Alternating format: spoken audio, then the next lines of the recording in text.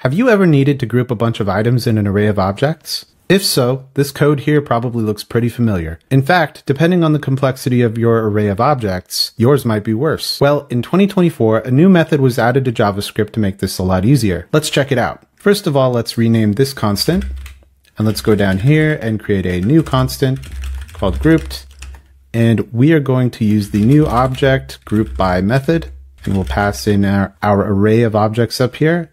And then all we have to do is point to the item in the object that we want to group by. So in this case, let's say it's book, and we want to group it by book and the genre. And let's hit save.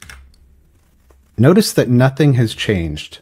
We've done exactly the same thing as before. We've grouped it by genre, and all we have to do is pass in the object and then the key we want to group things by. Now I can also group this by title. I can group it by author, or any other key in the object in the array. So clearly this is great because it just means a lot less code.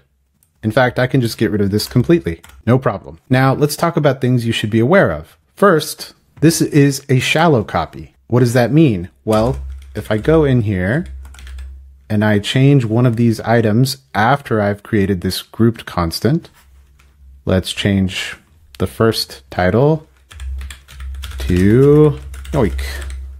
Now, even though I have created the grouped constant, it does not mean that changes to objects in the referenced array won't come through. They definitely will, because as I said, this is a shallow copy. So definitely keep that in mind. However, what's really excellent about this new method is hidden in plain sight. Maybe you caught it. If we take a look at the top here, we see object null prototype.